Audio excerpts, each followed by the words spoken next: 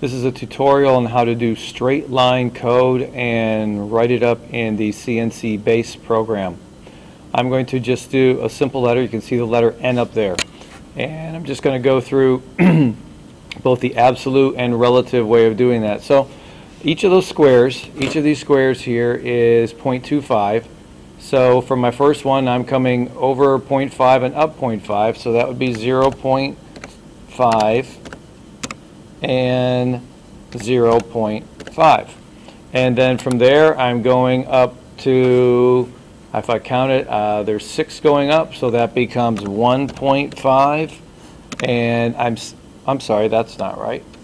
That's, that's the whole thing. My x didn't change at all. It's zero. My y went up, and so uh, it's going to be 1.5. My x stayed the same. Still 0.5. Thank you. 0.5, 1.5.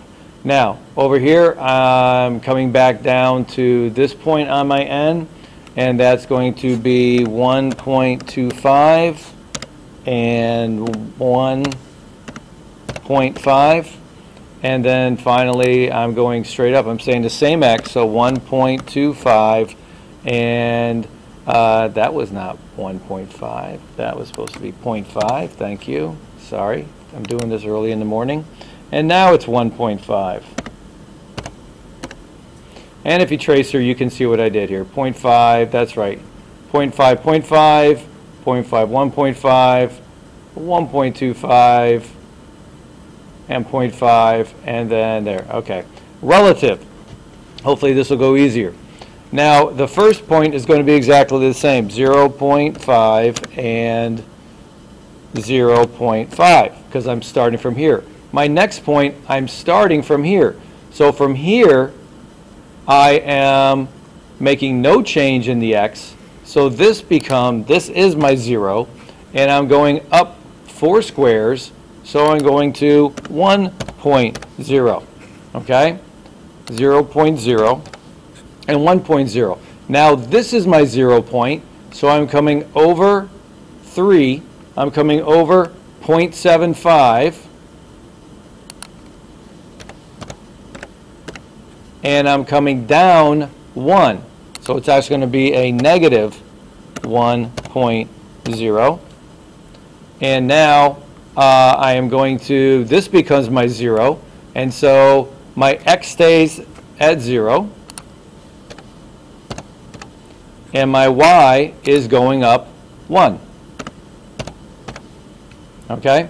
And so that's my relative coordinates. So that's how you do the relative coordinates. Each new point becomes my origin, my zero point, so I can actually move in the negative. And so you'll do the same thing with the ones that you come up with. Okay? So that's how you do that paper. Have all your coordinates for all the things that you have. And that's all you have to do. Make sure do them in the order that you would be uh, cutting it out. Now, if we go to the CNC base, I have kind of jumped ahead and I've put in these three lines of code because that's how you're going to start. You have your G90, actually you don't need the G80, we discovered, pretty sure. G90, then I'm doing, that's telling me I'm using absolute coordinates, and then I have a tool change. I've got T04. Now, if you, to check your machine, check your program, you click on Tools, Set up Library. There, may be tools set up here already. There may not be. But if you weren't, like, so let's say I was going to do, see, Z01, it's the one above it. So if I was going to do T3, and I wanted to make it a ball mill, because that's the rounded end one, a, we're either going to do that or we're going to do an end mill, which is flat at the bottom. But for cutting out letters, we like ball mills. And then uh, you would write a description like if I was going to do a one half inch like that. And actually they've already got it set, but if you didn't, if this was a 1 8 inch, over here I would have to put 0.125 to tell it the diameter. Don't worry about this stuff. Don't worry about this stuff. And then you would just say apply and you can see it's actually for. My, my tool four is a 1 8 inch ball. If you're using, if you want it really thin, like the robot I did, that's a 1 16th. .0625. And then you would have to make sure you had a tool, uh, my, that's my tool six is my 1/16th ball. Doesn't matter what number it is right now, you can change it when you get to the machine. Okay, so that tells me that. Tool change, turn my spindle on at 2500. Now you may have to come up here and uh, if, it, if you can't type in, you may have to go to edit and unlock in order to put in new information. Sometimes that's the case. I'm just, I can hit enter. And so now I'm going to go to my first point, which was, I'm going to go G00, whoops, G00,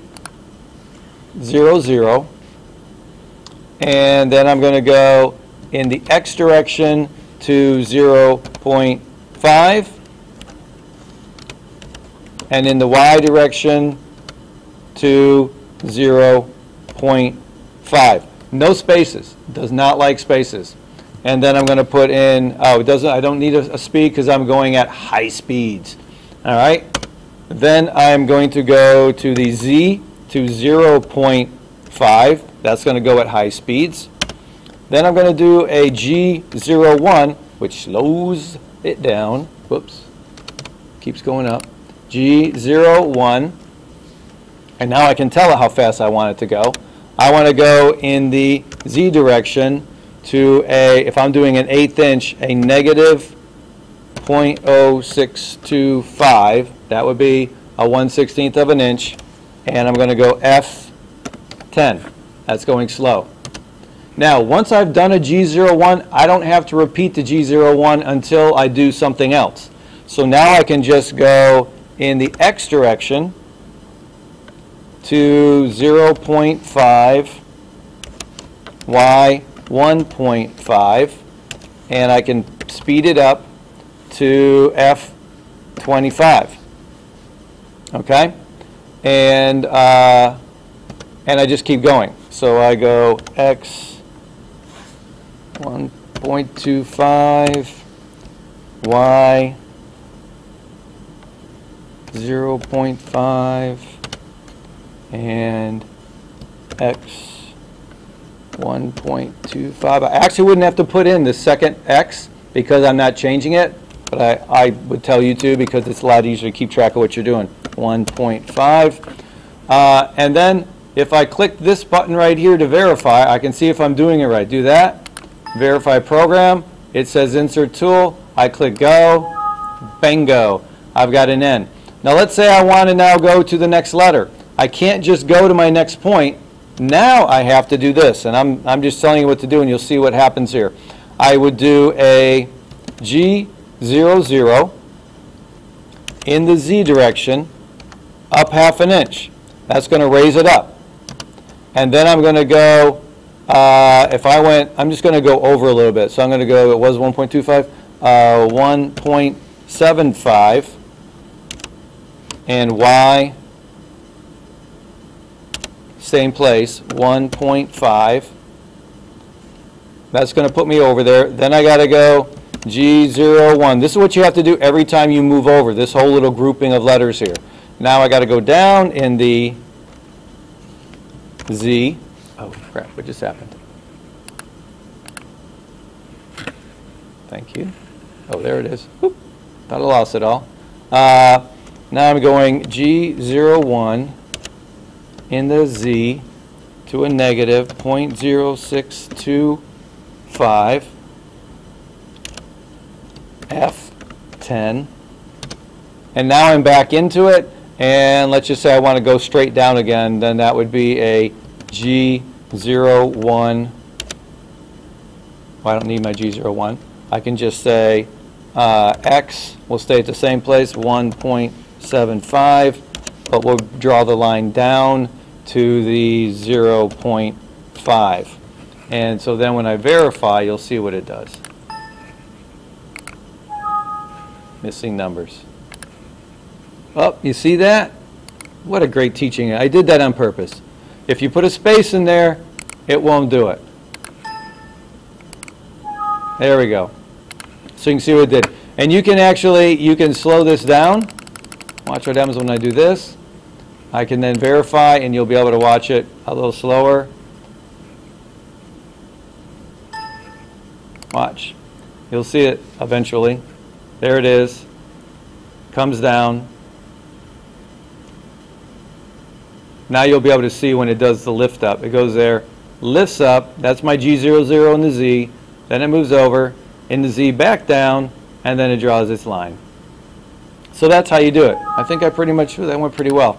I think I've pretty much covered everything that you need to do in order to fill that out on the paper, and also to, you can follow along with this to get your code to get three, uh, three letters or some kind of a drawing, whatever you want to do. This is all straight line. I'll do another video later that will, uh, I'll do something with curves, do like the S with curves or something.